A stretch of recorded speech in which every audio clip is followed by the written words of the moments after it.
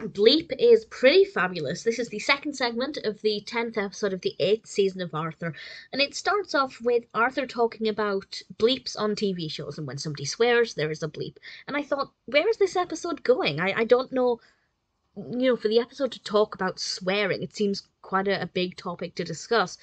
But the direction it took um, was actually really entertaining. DW is in a in a shop with her grandmother one day, and this child, this older child, happens to swear. And of course, throughout the episode, there are no swear words. It's just a bleep.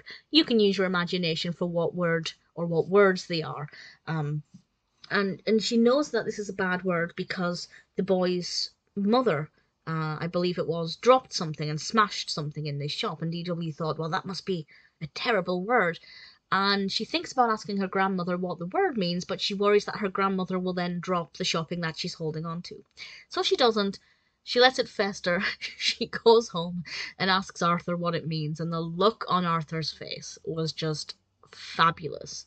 And it's all about her trying to find the confidence to ask other people what this word means because Arthur doesn't tell her. And she ends up getting other people into a bit of trouble and getting into a bit of a sticky situation. I think it's a very, very relatable episode for young children. Now, I think when you're the target audience for Arthur, you know, about seven, eight, nine years old, I'm 31, doesn't matter. Um, but when you're, you know, the target audience, I think by that age you have a general understanding of what swear words are uh, and the fact that they're bad words. But when you're much younger uh, and you don't necessarily know what they mean, and you don't really understand why they're bad words, it can be very confusing. I, I, I say this like I remember feeling that way, but I, I imagine. Um, I think it's understandable for children to say swear words and not realize why they're wrong. Apparently, I never used to say fish correctly. I used to get the F and the SH the wrong way round, but I used to pronounce the F as T. So I would say SHIT instead of fish. Um, and of course, as a young child, that meant nothing. It didn't mean anything to me. Uh, DW has to learn really important lessons in this one.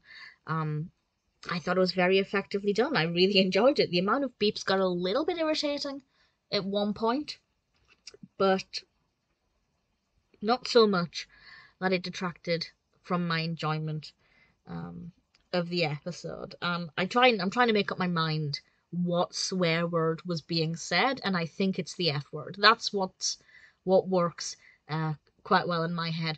Also, um, Arthur's mother, D.W. Arthur's mother, gave a fantastic explanation.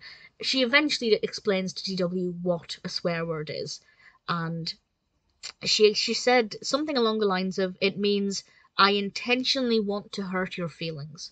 When you swear at somebody, it means I want to hurt your feelings, and I thought that that was wonderful. That's just a such a succinct way of and, and polite way of explaining what a swear word is. And I think that that's pretty fabulous because I did think throughout this, how do you explain what a swear word is? And DW kept asking, why is it bad? Why is it offensive? Well, I don't think she used the word offensive, but I thought that it's a good point. It's a word. You know, words themselves don't mean anything unless you have context. And I think their mother summed it up pretty fabulously. Really enjoyed it. I had no idea what they were going to do with Bleep at the beginning, but I really pleased. Uh, I'm really pleased with the execution of the narrative, and honestly, I had quite a lot of fun with it.